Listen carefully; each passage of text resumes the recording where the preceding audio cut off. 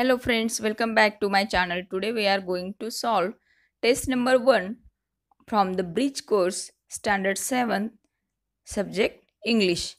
Okay, now let us question first. Speak 4 5 sentences about any one of the following topics. And it's for three marks तीन मार्क्ससाठी हा question विचारला गेला आहे तर फर्स्टमध्ये म्हटले त्यांनी माय सेल्फ म्हणजे स्वतःविषयी तुम्हाला चार पाच सेंटेन्स चार पाच वाक्य सांगायची बाळणं आणि किंवा two things I can do तुम्ही काय करू शकतात? तर थिंग्ज तुम्हाला सांगायच्या आहेत. का कोणकोणत्या गोष्टी तुम्ही करू शकतात ते तुम्हाला फोर फाईव्ह सेंटेन्सेसमध्ये सांगायचं आहे. आणि हे आन्सर कसं द्यायचं आहे तुम्हाला? ओरली द्यायचं आहे. रिस्पॉन्स मोड कसा असणार आहे? ओरली असणार आहे. ओरल असणार आहे. थ्री मार्क्ससाठी पण तुमच्या लक्षात यायला हवं की मायसेल्फ विषयी कसं लिहिलं जातं? एक एक्झाम्पल म्हणून मी तुम्हाला त्याचा आन्सर रिटर्न फॉर्ममध्ये दिलं आहे बाळांनो.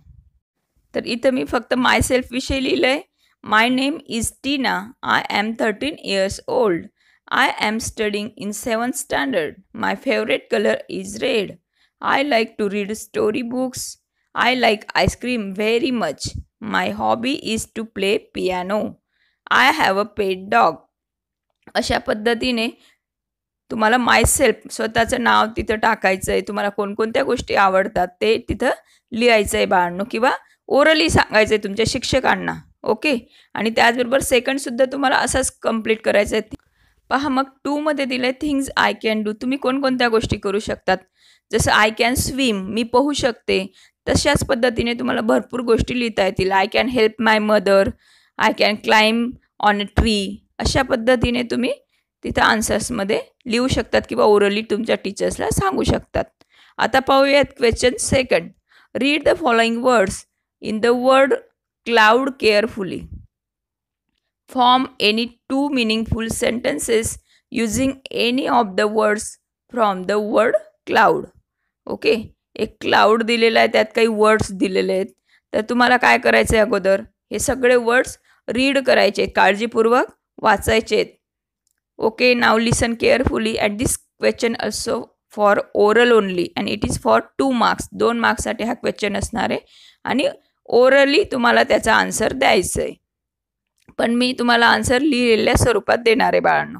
तर पाहूयात रीड करूयात आपण ती words he is boy have she has running pen स अ द लाफिंग व्हाय तर पाहूयात कोणकोणती सेंटेन्स आपण तयार करू शकतो.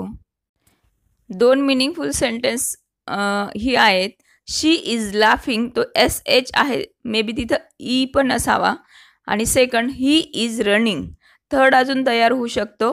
ही हॅज अ पेन अशा पद्धतीने तुम्ही तुमच्या आयडियानुसार ते सेंटेन्स तयार करू शकतात तुमच्या टीचर्सला ओरली सांगू शकतात बाळांना. Question third read the following words from the basket of words carefully and answer the following आता हा रिटर्नसाठी लिहिण्यासाठी असलेला प्रश्न आहे. तो आहे सिक्स मार्क्ससाठी बास्केटमध्ये जे वर्ड्स दिले गेले आहेत त्या वर्ड्सला रीड करायचं आहे वाचायचं आहे काळजीपूर्वक. आणि खाली काही क्वेश्चन्स दिले गेले त्यांचे आन्सर आपल्याला द्यायचे आहेत. आपण अगोदर वर्ड्स वाचून घेऊयात. स्केअर्ड म्हणजे घाबरलेला फोरेड म्हणजे कपाळ शोल्डर खांदा हॅपीली आनंदाने स्विमिंग पोहणे निडल सुई चॉपिंग म्हणजे कट करणे स्टिचेस म्हणजे शिवणे थँक्यू इट मीन्स आभारी आहे थ्रेड इट मीन्स दोरा जॅकल जॅकल एक प्रकारचा कोल्हा आहे आणि बोर बोर म्हणजे पिग. डुक्कर ज्याला आपण म्हणतो. तर पाहूयात कोणकोणते क्वेश्चन्स दिलेले आहेत आपल्याला. फर्स्ट क्वेश्चन दिला आहे a word having I N G in it पा आय एन जी असलेला वर्ड कोणता आहे तर तो आहे स्विमिंग त्याचबरोबर चॉपिंग दोन वर्ड्स आहेत. तर तुम्ही कोणताही एक त्यात लिहू शकतात. Second a word that means frighten frighten म्हणजे घाबरणे. तर आपण फर्स्ट वर्ड पाहिला आहे तो स्केअर्ड स्केअर्ड म्हणजे सुद्धा घाबरणे. तर स्केअर्ड तिथं आपण लिहायचं आहे. The opposite of sadly sad म्हणजे दुःखी. दुःखीचा विरुद्धार्थी शब्द कोणता येईल इथं तर? हॅपीली आनंदाने. तो सुद्धा आहे तिथे. Fourth a word that means cutting कापणे. तर मी तुम्हाला मग अगोदरच सांगितले की कोणत्या कोणत्या वर्डचं काय काय मिनिंग होतं? चॉपिंग हा वर्ड तिथं करेक्ट बसणार. आहे त्यानंतर a thing we need for stitching आपल्याला स्टिच करण्यासाठी शिवण्यासाठी कोणत्या वस्तूंची गरज असते? तर पहा इथं दिलेलं आहे निडल आणि त्याचबरोबर थ्रेडही दिला आहे दोघं लिहिले तरी चालतील. ॲक्च्युली अ थिंग विचारलं आहे पण दोघं लिहिले तरी चालेल. आणि ॲन ॲनिमल ॲनिमलमध्ये सुद्धा दोन नावं तुम्ही लिहू शकतात. जॅकल आणि बोअर दोघंही ॲनिमल आहेत. अशा पद्धतीने क्वेश्चन थर्ड आपल्याला कंप्लीट करायचं आहे बाळांनो. तर क्वेश्चन थर्डचे सगळे आन्सर्स मी तुम्हाला इथं दिलेले आहेत. आता पाहूयात question fourth read the following passage carefully and answer the following questions हा सहा मार्क्ससाठी रिटर्नसाठी लिहिण्यासाठी असलेला क्वेश्चन आहे. तर अगोदर आपण passage वाचूयात. When you were very young your parents or other grown ups did everything for you They fed you, washed you, dressed you, and took you around. But things must have changed since then. Now that you are nearly 11, you must have learned to do many things all by yourself. Now you are a do it yourself, die kid. Right? Here is a list of some things an 11 year old child should be able to do. And never mind if you can't do some of these things as 8 there is a whole year for you to learn these things you will enjoy them का म्हटलं आहे तुम्ही जेव्हा young होते खूप छोटे होते तेव्हा तुमचे जे पॅरेंट्स होते पालक होते काही ग्रोनअप्स म्हणजे आजी आजोबा असतील तर त्यांनीसुद्धा तुम्हाला प्रत्येक गोष्टीसाठी मदत केलेली. ते सगळं तुमचं करायचं. आहे खाऊ घालायचे फेड यू वॉश यू त्यानंतर ड्रेस यू म्हणजे तुम्हाला तुमचे आंघोळ घालायचे कपडे घालायचे भरपूर अशा गोष्टी ते तुमच्यासाठी करत असत जे तुमचे एल्डर्स होते म्हणजे आई वडील असतील आजी आजोबा असतील. पण आता काय म्हटलं गेलं आहे की but things must have change since then पण आता ह्या सगळ्या गोष्टी चेंज व्हायला हव्यात. Now that you are nearly eleven कारण तुम्ही आता किती? इलेवन वर्षाच्या जवळपास आहेत. You must have learn to do many things तुम्ही भरपूर गोष्टी करायला शिकायला हवं. तुमच्या तुमच्या स्वतःच्या गोष्टी तुम्ही स्वतः करायला हव्यात.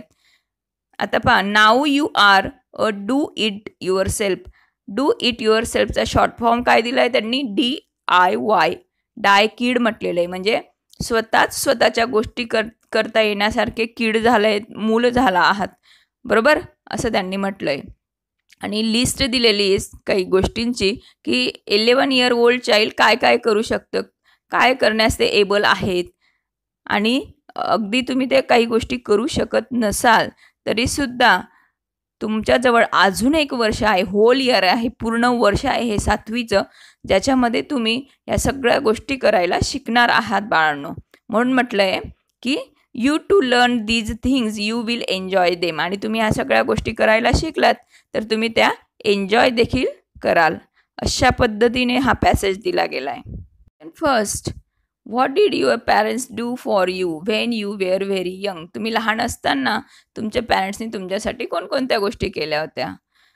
Answer when we were very young they did everything for us they fed wash dressed and टूक अस अराउंड अशा पद्धतीने त्याचा आन्सर येईल. Question second what is DIY डायचा long form आपल्याला इथं लिहायचा आहे बाळांनो. तर त्याचा लाँग फॉर्म आहे DIY means do it yourself question third write down any two things you can do on your own तुम्ही करू शकाल अशा तुमच्या दोन गोष्टी इथं सांगायच्या आहेत बाळांनो.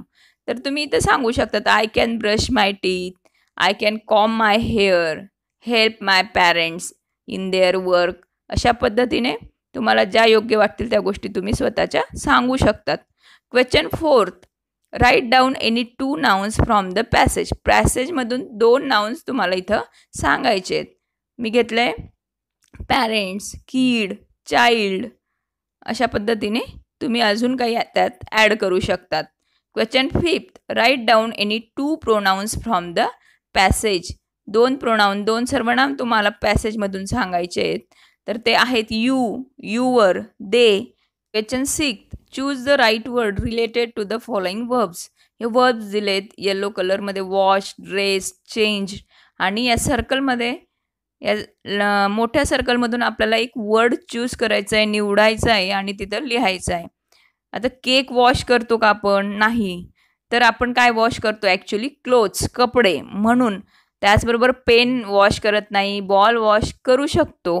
पण तो ड्रेस करतो का? नाही.